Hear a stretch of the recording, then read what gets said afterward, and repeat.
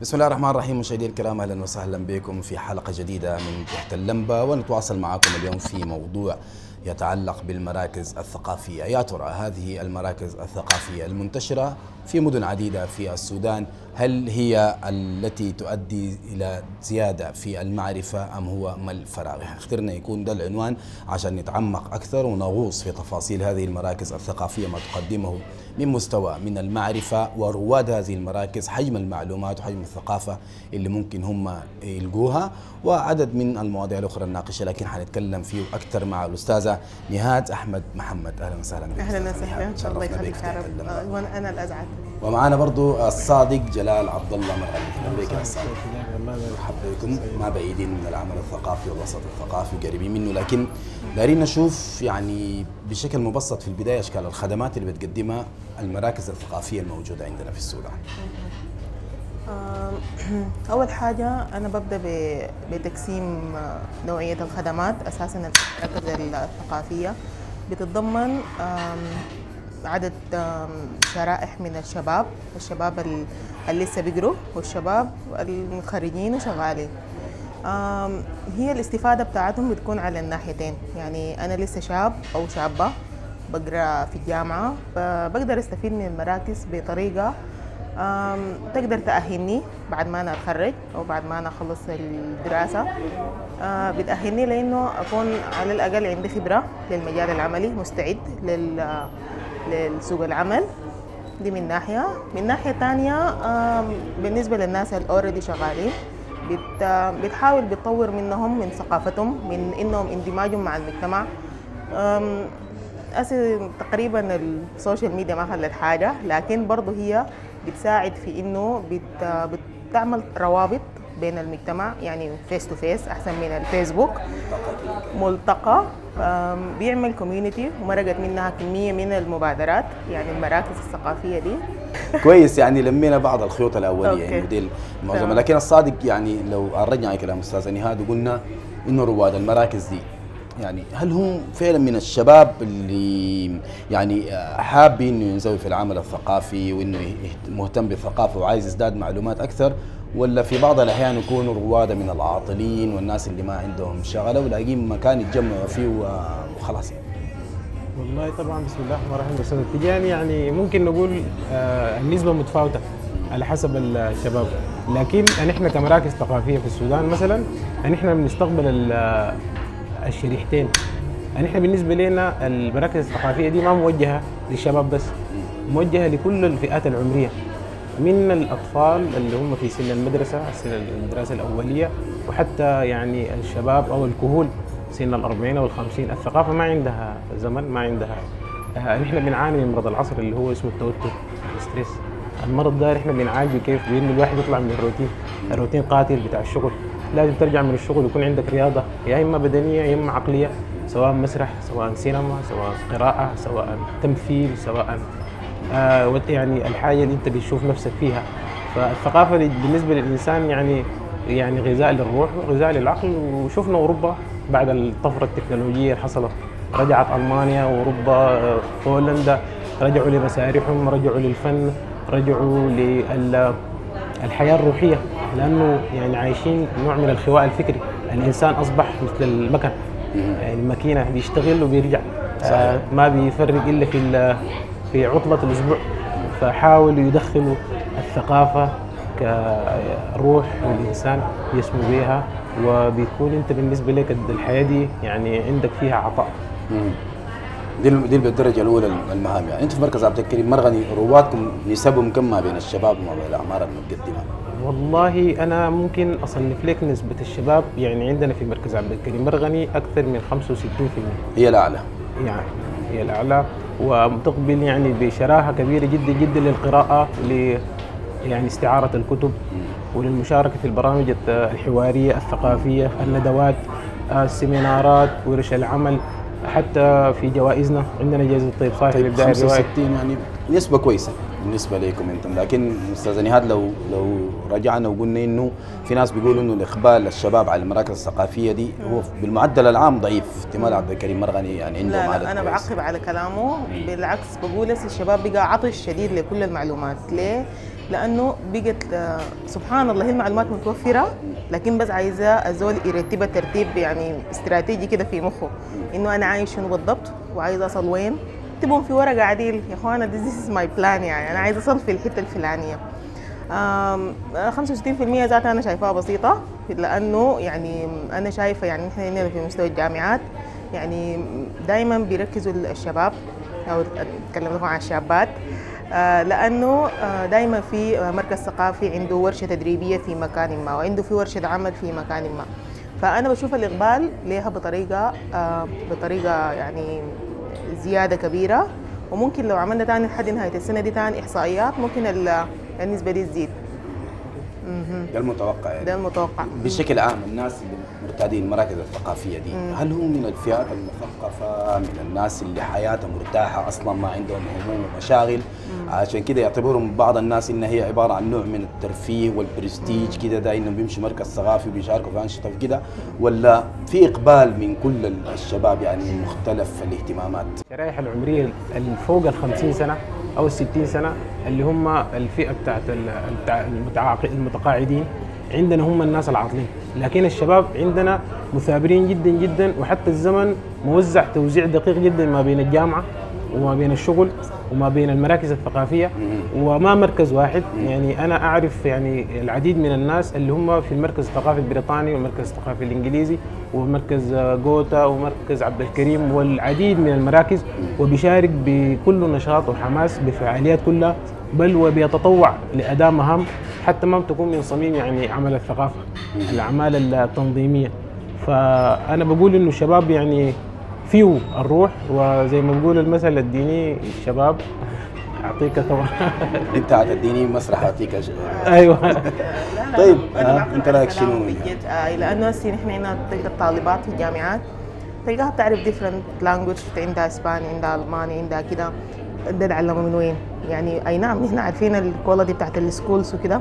يعني ما بتوفر حياة زي دي. فالزول هو براه هو والستي- بيبحثوا براهم بيجتهدوا براهم تلقاهم يعني بجانب القراية بتاعتهم عندهم يعني جزء أهم يمكن أهم من نسبه ال- الدراسه الجامعية بالنسبة لهم بي- بيركزوا على النشاطات الخارجية تلقى الزول يعني مثقف لدرجة إنه بتقول يا ريت لو الزمن رجع بي كمان شوية وأقدر لو كنت من يعني كمان. آه. بعض الناس بيقولوا إنه الشباب ديل المراكز الثقافية دي بالنسبة لهم برمجة عشان يعملوا لهم موضوع ويلاقوا ناس ويتصوروا صور سيلفي ويعملوا لهم طلعات أنا بعت أنا. أنا هاخدها من ناحية إيجابية إن هي إن أنا أتعرف على community جديدة أتعرف على ناس جداد ده بالنسبة لي إضافة.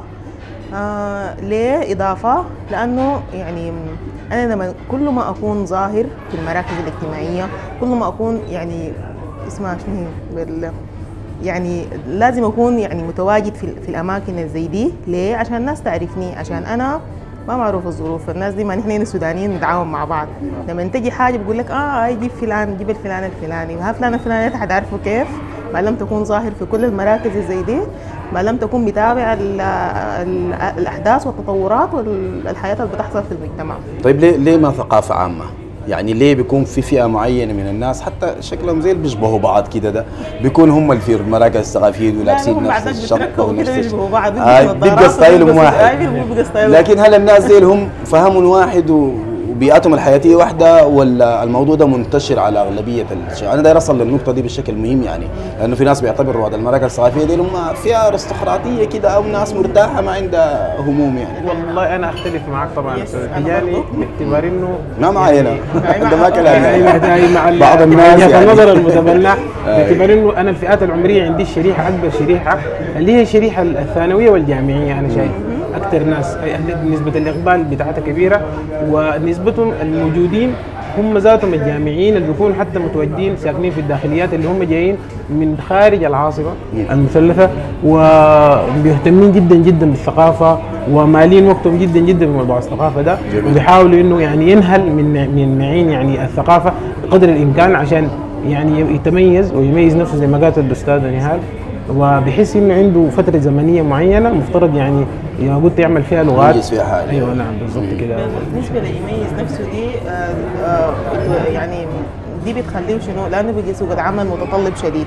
فأنا لازم أميز نفسي بحاجات أنا أقدر أنافس بها بعدين في سوق العمل. غير شهادتك أتخرج. الأكاديمية غير شهادتي. الأكاديمية مستوى بالضبط. الثقافة برضه مطلوب. صح مستوى لأنه هسه أي شركة أو أي آم، يعني كمباني بيكون عندها متطلبات غير بصايد ال- ال- القراءة اللي أنت قريتها فأنا عشان أقدر تكوب مع الحاجات دي أنا لازم أكون عندي وعي ثقافي لدرجة تقدر تأهلني إنه أنا ألتحق بواحدة الشركات ال- طيب إضافة إلى ما قلتيه يا, يا أستاذة نهاد يعني شنو اللي ممكن تاني تخلق المراكز الثقافية دي عند الناس أو الرواد؟ شنو الفوائد اللي بتعود على الشباب أو الناس كلهم يعني بشكل عام؟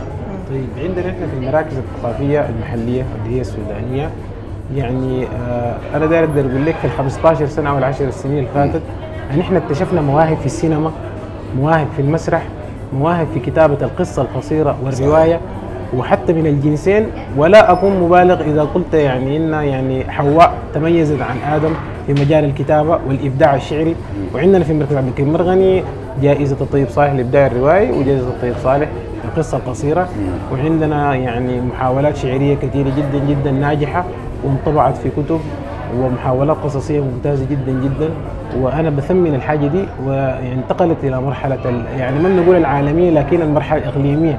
عندنا كتاب يعني فازوا بجوائز ممتازة ويعني أعمالهم ترجمت إلى يعني العديد من اللغات وحتى ال- ال- الكتاب العالميين أو حتى دور النشر العالمية. يعني زمان إحنا كان بنقول الطيب صالح. ثاني بنقول منه يعني واحد اثنين. حتى في مجال الفن الرسامين عندنا ناس بيرسموا لوحات ممتازة جدا جدا وبتتعرض في في المركز الثقافي الفرنسي وطلعت برا. وفي المعهد الثقافي الألماني. وعندنا مواهب كثيرة جدا جدا لقت نفسها في مجال ال- يعني في المجال اللي هي بتبدع فيه. ونحن هسه حاليا في العولمة اللي يعني إحنا بنعيش العولمة زي ما قلنا. يعني ما في حاجة أصبحت يعني العالم أصبح قرية صغيرة. فبمجرد ما إنك أنت تكليك يعني أنت عندك عالم افتراضي يعني بيشكل تحديات المراكز الثقافية المحلية لكن بنحاول نحن يعني زي ما بيقولوا آه، نقفز يعني فوق ال ال ال ال المشاكل اللي بتواجهنا دي أو التحديات اللي بتواجهنا عشان يعني نخلي ال- الشباب فئة الشباب برضو يعني تكون ملاحقة الحدث آه، أول بأول ونحاول يعني يعني ناخذ منهم ثمرة جهودهم كلها عشان يعني نصيغ الإنسان السوداني لأنه الثقافة مهمة جدا جدا تشكيل وعي تأكيد يا- حتى لو تلاحظ الرو- يعني المراكز الثقافية دي زي أنتجت جيل كده مختلف يعني اهتماماته ثقافية مصطلحاته تعامله في الحياة اساليب لكن لو لو جينا دايرين يعني نقول عن عن النتاج الناتج النهائي للمراكز الثقافية أو لاهتمامات الشباب يعني شنو الحاجة اللي غير اللي, اللي, ذكرها الصادق؟ شنو الحاجة اللي ممكن إحنا أو هي غرض مطلوب لقدام ممكن إنه آه، نصل به من, من, الرواد يعني. احتمال زيادة التوعية بالنسبة للشباب توعية التوعية بشنو؟ بأهمية المراكز دي القيمة ال- الفعلا بتضيفها لك أنت بعد ما تتخرج كطالب. ممكن تضامن كل المراكز الثقافية مع بعض عشان ينتجوا يعني يكونوا تحت مظلة واحدة. ما عارفة تحت وزارة الرعاية والشباب وكده. ف... فدي ممكن كلها تتضامن مع بعض تبقى كلها network واحدة. بحيث إنه أنا أي مجال داخل هذه المراكز الثقافية تعتبر نفسي أكاديمي ثقافي يعني أي حاجة بيحس ال- الشاب ده أو الشابه بتطمح لها هي تتوفر عندهم بس كلهم يكونوا تحت شنو؟ umbrella واحدة طيب لو جينا نتكلم شوية عن المراكز الثقافية الأجنبية العاملة في السودان يعني زمان نظرية المؤامرة دي سائدة يعني ال- المراكز الثقافية هي عبارة عن واجهات لأعمال بتاع تغيير ثقافي ومجتمعي لأغراض استعمارية وما إلى ذلك يعني. وفئة كبيرة من الناس كان مقتنعة بالموضوع ده وحتى إنه كان عليها رقابة ومتابعة وكده. ستيل الآن يعني عندنا مراكز ثقافية أجنبية قدمت تبادل حضارات بشكل كويس وشكل راقي شالوا مننا وشلنا شلنا منهم الكثير. لكن السؤال هل يعني المراكز الأجنبية دي قادرة على أن تسجل ضوابط بثقافة المجتمع السوداني وباهتماماته وبحدوده اللائقة فيما تقدم من أعمال ولا هناك بعض التجاوزات اللي ممكن نقول عليها هي آه، يعني ما ما ما ما مفيدة. ما نقول مدير مضرة أو سيئة لكن نقول ما مفيدة أو غير مرغوب فيها. موجود الكلام ده؟ والله يعني من وجهة نظري الشخصيه طبعا بدون تمثيل لا لا من خبرتك. آه، أنت من يعني أي- صادق مركز آه، كبير آه، ومتقدم. أنا بقول إنه المراكز الثقافية الأجنبية يعني عندها رصيد ممتاز جدا في السودان. لكن أنا بقول إنه يعني في الوقت ال آه، آه، يعني ال في السنين اللي فاتت البسيطه دي اللي هي ثلاث أربع سنين ريسنتلي بقت آه، بتركز على فنون معينة من الغناء وحاجات يعني ما بتهم المواطن السوداني بال- بال- بال- بال- بالشكل اللي يعني الملح. نحن عندنا في مركز عبد الكريم الغني بيتكلم عن الهوية السودانية لأنه جماع تشكيل أي ش- يعني جبهة عريضة في أي شعب في عشان يكون متقدم وعشان يكون ماشي للأمام. دايرين أي واحد يكون عارف تاريخه ويكون يعني حاسس بانتمائه بهويته. عندنا هويتنا إحنا السودانية. جبنا المسرح السوداني جبنا الفلكلور السوداني من جميع أنحاء السودان. جبنا الغنى السوداني آه، وثقنا للشعراء السودانيين. آه، جبنا الوثائق البريطانية السودانية. آه، بعيون أجنبية ترجمناها للسودانية في 12 volume نزلناها آه، كان في العديد من والكتب. الباقيين عاملين زيكم يعني إحنا بصفة عامة يعني أنا داير تخ- تخلي لي الموضوع عام على كل المراكز والله المراكز الثقافية السودانية كل له يعني آه، زي ما بيقولوا اجتهادات. اجتهاداته المركز طيب الأجنبية، السودانية الأجنبية، بريس. الأجنبية. آه، أنا لا أقول لك إن عندها أجندة معينة لكن اهتماماتها الثقافية في السودان في حدود معينة وأظن أن ذلك شأن القائمين عليها هو هو في النهاية المراكز الثقافية الأجنبية بتدار تقدم ثقافة بلدانها للشعب. السوداني يعني نعم. يكون متلقي لكن هل هل روادة من أبناء السودانيين متفهمين لهذا الغرض. يعني إنه أنت دايرين يعلموك ثقافة الآخر لكن ما دايرين يربوك عليها يعني ما بالضرورة إنك تلبس زيهم ما بالضرورة إنك تكون شكلك وستايلك وثقافتك وفهمك زي أنت ما عايش في ألمانيا أنت ما عايش في بريطانيا أنت ما عايش في فرنسا. يعني هنا في كمية من المعاهد في المعهد الفرنسي المعهد البريطاني وتبر متخيل لي؟ يعني آه، كل الشباب مهما كانت تجربتهم في المعاهد دي ما زي لما أنت تكون يعني هم ما حيحكسوا لك ثقافة بلدك وانت قاعد في بلدك مم. فبالتأكيد حتشيل الحاجة اللي انت دايرة منهم وبعد ذاك آه، يعني تكون يعني still قاعد في في نفس ال area ما حتقدر يعني هم ما حيقدروا يفهموك ثقافة بلدك وهم قاعدين في بلدك يعني أنا هم بيعلموا ده بلدهم هم.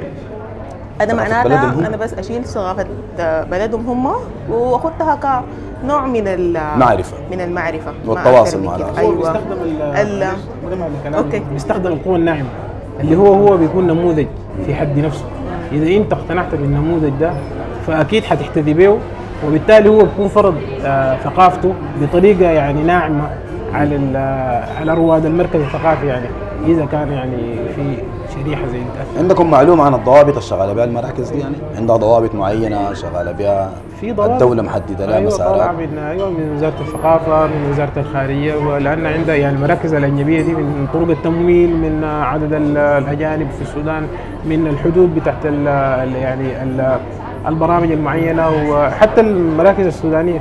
يعني عندها ضوابط معينة. في يعني حتى الحفلات عندها يعني مواعيد معينة. البرامج الحوارية حتى ال- المنتديات لابد إنه يكون عندك تصديق لأنه في إقامة ندوة في العديد من الناس حتجي تحضر وكده وكده فأنا السلطات منظمة الموضوع ده وعاملة له ضوابط. والمراكز شغالة يعني. طيب على نفس النسق يعني المراكز الثقافيه السودانية بالخارج. اللي هي المفروض تؤدي رسالة برضه زي ما المراكز الأجنبية هنا بتؤدي يعني هل مراكزنا الثقافية بالخارج مؤديه الغرض كما ينبغي معرفة بالثقافة السودانيه كويس خالق اندماج مع المجتمعات الثانية اللي هي شغالة فيها المجتمعات العربية والأوروبية قادرين يخلقوا تواصل معاهم في وفود بتجي باسم مراكز الثقافية السودانيه في الخارج بتقابلوهم أنتوا أو بيعملوا أنشطة في السودان هنا؟ والله أنا ما عندي فكرة عن المراكز الثقافية السودانية خارج السودان بتعمل.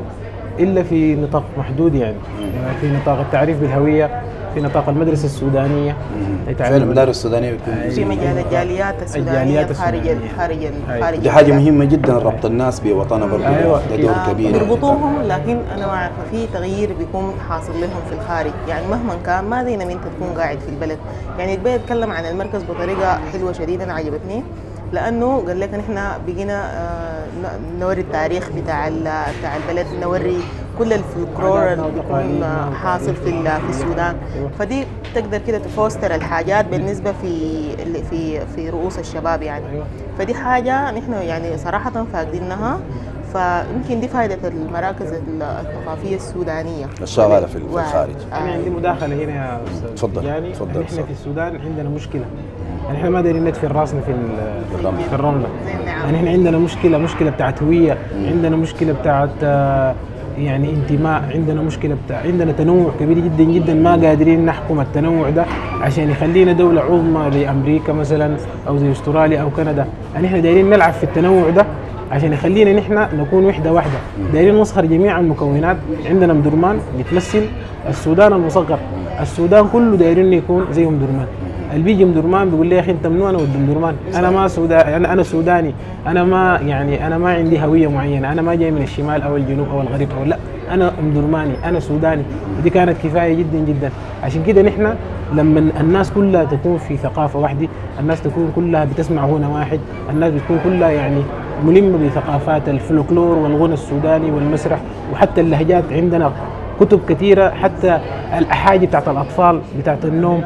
نزلناها في كتب على أساس إنه الناس تكون واعية بمفردات السودانية العامية من المشلعيب الكابدلو ال- الكنش ال- ال- السفروقه ال- الحاجات دي طبعا جرعات مقدمة اي في جرعات. لأنه الزمن ده إحنا فقدنا الحبوبات فقدنا الجيل الثالث والرابع مع مشاغل الحياة ومع الانتقال من البيوت الكبيرة جيل قاعدين. للشجر الصغيرة آه أنا اضيف لك إنه الحاجة دي هي بقت قاعدة وراسخة لكن بدخول التكنولوجي بقت يعني أنا ما شايفه ما عارفة إنه موضوع الهوية السودانية المفروض يدفن ليه مش يدفن هو يتطور بطريقة التكنولوجيا. يعني ممكن ال- الحكاوي اللي كنت بتتكلم عنها دي تنزل في يوتيوب تنزل في موجودة موجودة. يعني بطريقة بشنو؟ بس الزول يتنقل نقلة نوعية نعم.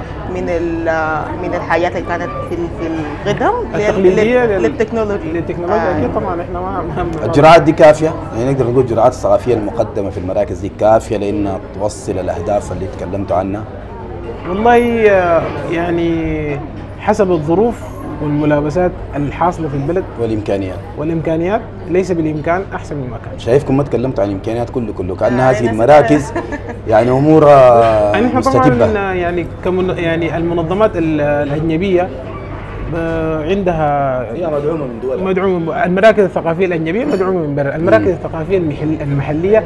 اللي هي كلها غير ربحية بتعتمد على منظمات المجتمع المدني الثانية والشركات آه، والمؤسسات الحكومية والحكومة وذات الدولة الثقافة. داعمة وزارة الثقافة داعمة بشكل كويس والله وزارة الثقافة أقل يعني ما ينبغي يعني أنا ما أقول لك إنه السنين الأخيرة بدأت تتعامل مع تتعاطى مع الموضوع وحست بقيمة الثقافة والحوار الوطني والمطلوبات ال- يعني التحول الديمقراطي بناء مجتمع. وبناء المجتمعي لأنه يعني في النهاية لابد إنك يعني تتعامل مع الشعب باعتباره يعني إحنا أقرب. للشعب يعني باعتبارنا طيب. بنقيس نبضه أستاذة نهاد يعني الموضوع ده بالذات زولة عندك مشاركاتك الكبيرة في جامعة الأحفاد وفي غير المنظمات العاملة في ال events في بند المسؤولية الاجتماعية لدى الشركات. يعني الناس بتدعو لأنه البند ده مثلا يساهم في موضوع الموية في في القرى والمناطق النائية يساهم في موضوع المدارس يساهم في موضوع المستشفيات. تفتكري إنه المفروض يكون في نسبة مقدرة لموضوع الثقافه ده والمراكز أكيد الثقافيه أكيد. already شغال يعني اشتغلوا فوقه كثير شغالين عليه يعني فزتوا ولا يعني نلتوا الحاجة دي ولا لسه مجتهدين فيها؟ آه لسه شا يعني أنا ما عارفه آه بالنسبة لل بالنسبة يعني بنسبه كم لكن الجانب الثقافي ده شغالين فوقه. من توعية المرأة من توعية الطفل ونمسك كل نطاق الأسرة. آه بيكون في آه داخل الجامعة بيكون في مر- في مراكز توعية طبعا وفي مراكز آه آه للرعاية الصحية للرعاية يعني ما بس الر- الرعاية الثقافية. آه في الآونة الأخيرة لانها هي بقت آه سمة من سمات ال- المجتمع الحالية. يعني لازم أقول لك آه في ورشة عمل في الحتة الفلاني في workshop في آه، محاضرة، محاضرة seminar. تنويرية seminar ده كله داخل مع بعضه. فالجامعة بتهتم بها كثير. ف والاخرين يعني طبعاً اهتمام. الآخرين اهتمام الشركات مثلا بدعم المراكز الثقافية أنا قصدي. بقت تدعم أسي بالذات آه، المسؤولية الاجتماعية دي. ده بند من البند المفروض أكتب عنه لحد نهاية السنة دي. للدكتوراه يعني. أيوة. إن شاء الله ربنا يوفق فإن شاء الله لقيت النسبة دايما بتكون إن هي بروفيتبل أكتر من إن هي تساعد الناس دي. ف أقل مما ينبغي. آي. فنادرا ما تلقى إنه يعني الناس ديل أنا ما دايره أتكلم بصورة سلبية.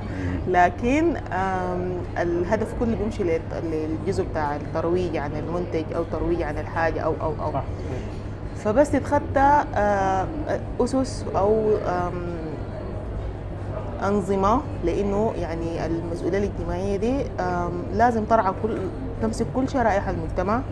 من حيث يعني يكون الشغل كامل متكامل من حيث رعاية صحية رعاية ثقافية رعاية آه، يعني كل ال- البنود بتاعت الرعاية. وممكن كده بتساعد في نهضة ال- المجتمع والكوميونتي اللي إحنا فوقه شكرا لك نهاد أحمد محمد. شكرا جزيلا لك عقبال. برضو ما نفرح معك بالدكتوراه يعني شكرا. لك. شكرا لك أنت برضه سعيده شديد بالاستضافة في البرنامج. آم، اتمنى التواصل إن شاء الله. نتلاقي تسلم نتلاقي ثاني إن شاء الله شكرا لك الصادق جلال عبد الله شكرا جزيلا يا الصادق مشاركتك أهلا معنا. تجاني ونتمنى نشوفكم ثاني يقولوا في قناة سودانيه 24 الله يخليك. شكرا لكم شكرا لكم على مشاركتكم معنا. موضوع المراكز الثقافية. والشباب حاجة مهمة جدا نتمنى إنه نكون قدرنا نقدم فيه. ولو لمحة بسيطة وتسليط ضوء على هذا الموضوع الهام. بقي إنه نمشي على هاشتاج لمبة نشوف آخر الموضوعات وآخر الهاشتاجات والتغريدات وكل ما يحدث على ال social media خلال الأسبوع الماضي في هاشتاج لمبة خليكم معنا.